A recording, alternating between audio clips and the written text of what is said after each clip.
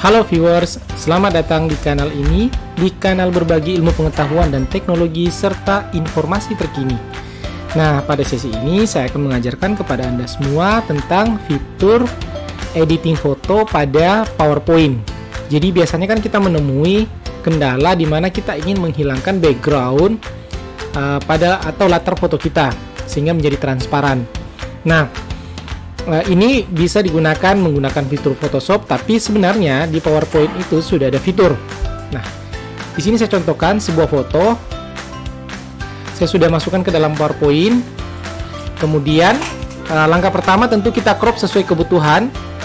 Ya, kita crop sesuai kebutuhan. Sampai di sini. Ya. Lalu kemudian setelah kita crop, nah biasanya kan kalau uh, yang kita ketahui kita klik fitur uh, color lalu kemudian set transparan color. Ini hanya berlaku jika tone color yang ada di belakang ini sejenis atau sama atau tingkat uh, tone-nya ya level warnanya sama. Tapi kalau kita klik langsung ini tidak tidak efektif gitu. Nah kita gunakan fitur yang ini remove background. Caranya kita klik. Nah secara otomatis komputer sudah mendeteksi uh, bagian yang atau area yang akan disimpan. Tapi bagian yang bawah ini belum maksimal ya. Kita tambahkan dengan menggunakan fitur mark area to keep.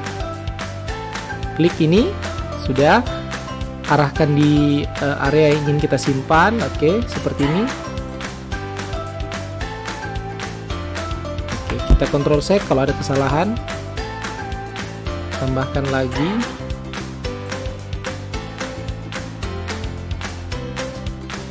Oke. Seperti ini. Nah.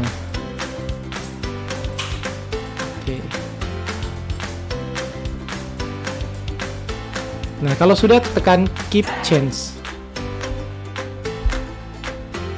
Oke, kalau lengannya misalkan belum ya, kita bisa tambahkan lagi.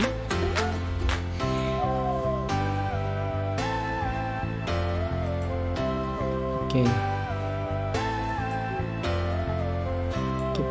Nah, ini sudah uh, lumayan ya. Kalau sudah, kita bisa gunakan foto ini untuk foto profil seperti zoom dan lain-lainnya. Oke viewers, sekian penjelasan dan tips hari ini. Sampai jumpa pada edisi berikutnya.